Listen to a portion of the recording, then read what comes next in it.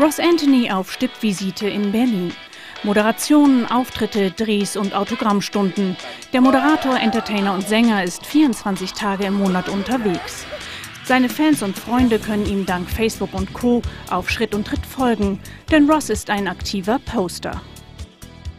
Ich bin entweder auf Facebook mit meinen Fans unterwegs und ich poste sehr viele Bilder und Einträge, dass die wissen genau, wo ich bin und wo die mich sehen können. Cool. Ein Leben offline kann sich der 36-jährige Ross Anthony nicht mehr vorstellen. Ich würde nicht sagen bei mir, das ist eine Sucht, aber ist es halt. Süchtig nach dem Netz und ständig online. Ross Anthony ist damit in bester Gesellschaft.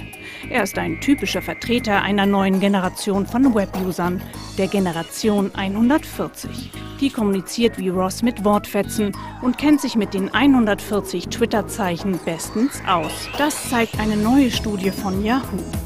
Die Generation 140 überlegt aber auch ganz genau, welche Nachrichten sie über soziale Netzwerke verbreitet. Überraschendes Ergebnis für uns war, dass 60 äh, Prozent der Nutzer von sozialen Netzwerken angegeben haben, lieber eine persönliche E-Mail von ihren Freunden zu erhalten, als eine Massennachricht an viele Freunde. Und Ross? Er ist ein bekennender Fan der Massennachrichten. Ein gutes Viertel der Deutschen fühlt sich laut Yahoo-Studie auch tendenziell zugemüllt von Nachrichten via Social Networks. Ross liebt die Kommentare und ist schon gespannt, wie viele Fans ihm jetzt geantwortet haben. Und wie hält es Ross Anthony mit den wirklich privaten Nachrichten?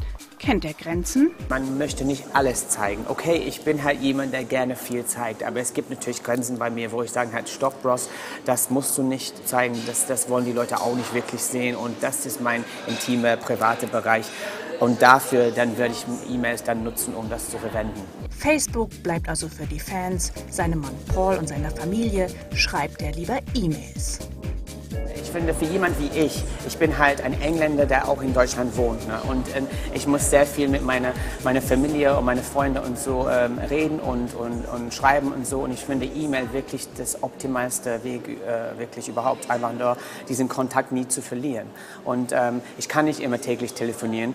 Hätte ich das gemacht, dann wär, hätte ich keinen Cent mehr auf dem Konto gehabt. Aber es ist, es ist sehr wichtig, diesen Weg auch zu, zu behalten, einfach nur, weil man fühlt sich immer noch äh, ein Teil von, von der ganzen Familie Familie halt. Ne? Social Media steht also hauptsächlich für Fun. Auch mit diesen Ansichten befindet sich Ross Anthony in guter Gesellschaft.